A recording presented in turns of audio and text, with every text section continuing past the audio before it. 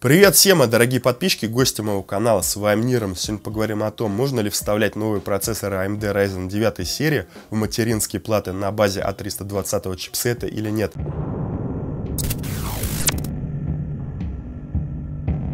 А перед началом просмотра будет небольшая рекламная ставка. Спонсор сегодняшнего видео – немецкий магазин компьютерной бытовой техники «Компьютер Универс». В данном магазине вы можете купить разнообразную бытовую технику, компьютерные комплектующие, такие как видеокарты, процессор, материнские платы и так далее. Причем, кто заинтересовался, ссылка будет в описании. Также в описании будет купон на скидку в размере 5 евро на первую покупку. Причем, ребята, это видео я максимально спонтанно записываю в таком live режиме. А, дело в том, что изначально я его записывать не планировал. Я сегодня открыл интернет, в общем, стал проглядывать чужие ролики, как обычно, перед тем, как приступить к работе. И наткнулся на ролик Максима с хорошего выбора. В общем, заранее говорю, что я его ругать не собираюсь, то есть э, э никого оскорблять, то есть я этим не занимаюсь, я не снимаю там всякие горе-сборки, обзоры на других блогеров, то есть меня это не интересует. А, в общем, в принципе, к Максиму у меня есть определенные придирки, наверное, а, потому что периодически он все же снимает всякую непонятную дичь. А, но в этом ролике, в принципе, он в конце сказал, что он не рекомендует так делать, и так, ребята, не делайте. То есть это типа тестовый стенд, и он это сделал для того, чтобы просто посмотреть, что же будет. Типа замкнет, не замкнет, там что-нибудь прогорит, не прогорит и так далее. Ну, образно. Я вообще думаю, что это надо было сказать прям в самом начале, что вот, ребята, а мы сейчас сделаем тест, но, ребята, не вздумайте так делать, и так делать ни в коем случае нельзя. Давайте пролетимся по ошибкам, которые были сделаны при тестировании. Первая ошибка, которая, скажем так, достаточно существенная, это тест а, в открытом стенде, ребята. Понимаете, в чем дело? В открытом а, стенде, я думаю, вы сами понимаете, температуры на порядок как бы ниже, а, нежели у вас все эти запчасти были бы в корпусе. Э, скажем так, одно дело у вас корпус хорошо продувается, а если у вас корпус, допустим, как у меня, который плохо продувается, ну, вы понимаете, что все корпуса разные, есть корпусы с хорошим продувом, а есть корпусы с таким, что в них температура получается на 20 градусов больше, нежели, к примеру, если бы в открытом стенде все это было. И, допустим, очень, эм, скажем так, большой шанс, что вы как раз купите вот такой корпус, который будет плохо продуваться. Допустим, возьмете корпус э, какой-нибудь э, супер-бупер красивый, но непригодный для нормального продува. Я свой корпус брал вот этот э, изначально под кастомную водянку, я изначально знал, что я туда пихну столько радиаторов, и, скажем так, э, ну, мне его хватает, хоть тут продув говняненький, ну, реально говяненький, Э, но, в общем, с учетом того, что у меня три радиатора, тут стоит кастомное охлаждение, у меня там все, в общем, не греется. Но если бы у меня стояли обычные вертушки, не было кастомного охлаждения, температура бы вот в этом корпусе реально порядка на 15-20 градусов больше, если бы у вас просто вот был бы открытый стенд. Поэтому, ребята, смотрите, если вы соберете такую систему на открытом стенде, у вас э, температуры как бы ниже, а если в корпусе, то выше. Получается, что его тестирование немножечко некорректно, потому что, вот, к примеру, сейчас у него что там вышло около 100 градусов э, в стресс-тесте в AIDе в открытом стенде. Получается, если бы это был Lynx, температуры уже были бы выше в открытом стенде. То есть вы должны учитывать, что AIDа это не самый лучший стресс-тест, в AIDе температуры не особо высокие получается. Максим, в общем, сказал в этом видео, что в AIDе температуры такие же, если бы вы что-то монтировали, там делали рендеринг, это не совсем так. Во время рендеринга температура получается намного выше, чем в AIDе. К примеру, вот, вот эта система моя в AIDе э, на 15 градусов, как бы на первой водянке была холоднее, нежели при рендере видео. То есть рендер видео очень сильно э, разогревал систему. Но я про ту систему, в смысле говорю, которая у меня еще была на первой моей кастомной системе. То есть у меня там VRM получался на 15-20 градусов горячее во время а, монтажа по сравнению с Аидой. А Lynx еще горячее. В Lynx может быть на 25 даже градусов горячее. Но это опять же зависит все от вашего корпуса, насколько он хорошо продувается. То есть, опять же, некорректный тест. А, вы должны понимать, что а, если рендеринг будет или нормальный какой-то стресс-тест, то температуры у вас будут выше на 15-20 градусов, плюс еще все это будет в корпусе, это плюс еще 10-15 градусов. То есть если у него тут под 100 градусов VRM а, разогрелся во время АИДы, то в нормальном стресс-тесте в Lynx, э, либо при рендере видео в закрытом стенде температуры будут под 130 или даже выше градусов. Я думаю, там под все 150 даже может быть.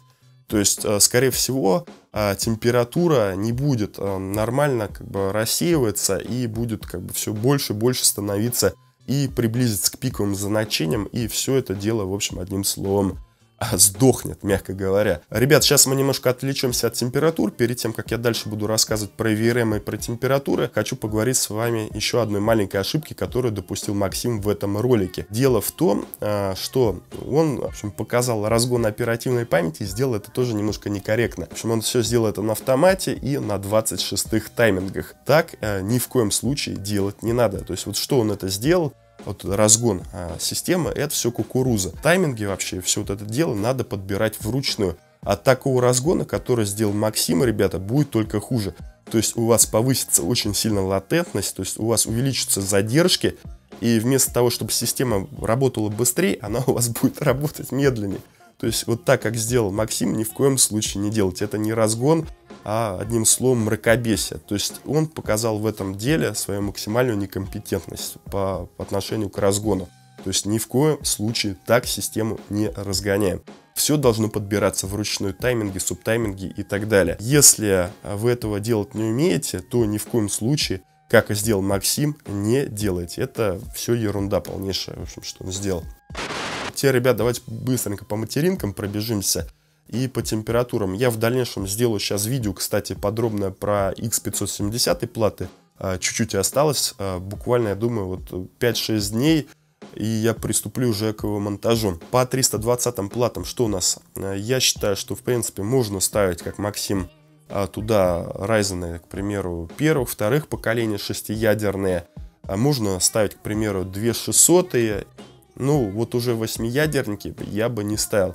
То есть, к примеру, бы в А320 я бы ни в коем случае не запихал бы восьмиядерный процессор ни первого, ни второго поколения, ни третьего. Да, третьего, в принципе, там температура, наверное, а, будут ниже, но они будут все равно высокие. Кстати, Максим в этом ролике сказал, что максимальные нормальные температуры это 80-90 градусов на VRM, а критичные 110 это не совсем так.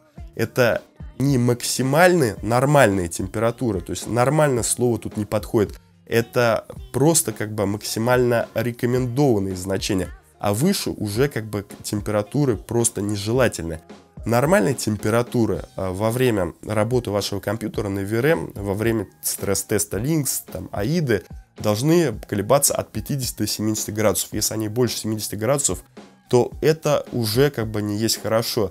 Я когда разгоняюсь с системы, я стараюсь, чтобы температура на VRM не превышала 70 градусов а, как бы, ну, 7,6, там, это еще, ладно, куда ни шло, но если выше, то это уже как бы не совсем хорошо. Ну, вы должны понимать, что температура от 90 до 110 градусов чреват тем, что у вас а, может прогореть какая-нибудь фаза, быть пробой, у вас может сгореть и процессор, там и карта, и оперативка, что хотите. А также у нас возрастают пульсации, тоже надо учитывать. Когда у нас возрастает пульсация, у нас становится менее стабильный разгон. То есть у нас менее стабильно работает процессор, менее стабильно работает оперативная память и так далее.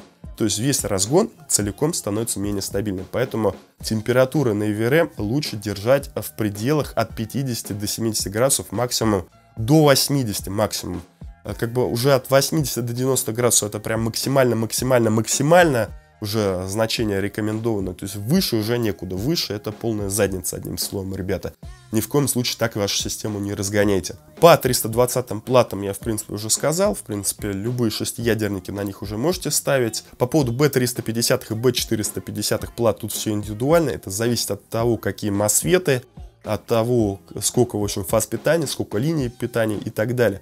То есть э, каждой материнской плате нужно подбирать процессор индивидуально. Про это я уже ролики свои снимал, поэтому прежде чем что-то покупать, прежде чем что-то разгонять, нужно сто раз головой подумать, а не экономить, в общем, на материнских платах. В общем, экономия на материнских платах, э, скажем так, э, может привести к не очень хорошим последствиям. Так же, как экономия на блоках питания. Так делать не надо. А все должно подбираться так, чтобы, скажем так, э, все работало максимально стабильно и нигде у вас э, не было высоких температур, ни в коем случае. Дорогие мои подписчики, гости моего канала, спасибо, что посмотрели это видео. Надеюсь, вы его не воспримете как хейт какой-то там, Максим и так далее. Нет, я никого, еще раз говорю, не хотел хейтить, там, оскорблять и так далее. Ну, может быть, немножко потроллить, но, в принципе, почему бы и нет. В общем, ребята, в первую очередь я это видео записал для того, чтобы вы э, не спалили свои компьютеры. Еще раз повторяю, прежде чем что-то покупать, прежде чем что-то самому делать, разгонять и так далее, сто раз подумайте головой. В общем, все надо подбирать с умом, а не как попало. В общем, еще раз спасибо, что посмотрели это видео. Если оно понравилось, можете поставить вот такой жирный лайк, подписаться на канал, нажать на колокольчик. Также, ребята, если вы хотите помочь моему каналу в развитии, можете сделать куда-нибудь репост, там, я не знаю, в Facebook, в Одноклассники, ВКонтакт. Когда вы делаете репосты, пишете комментарии, это очень сильно помогает продвигать видео в похожее рекомендованное. В общем, комментарии, они вообще очень классно, кстати, действуют на продвижение. Чем больше комментариев, тем лучше. Ну и что там, ребят, не пропадайте, до новых встреч. В общем, я иду монтировать сейчас э, видео про видеокарточку э, за 6 тысяч с Алиэкспресс, а потом, в общем, приступлю э, к монтажу обещанного видео про X570 платы. В общем, мы там подробно разберем VRM и так далее. Ну, в общем, думаю, видео будет достаточно интересно. В общем, пока всем.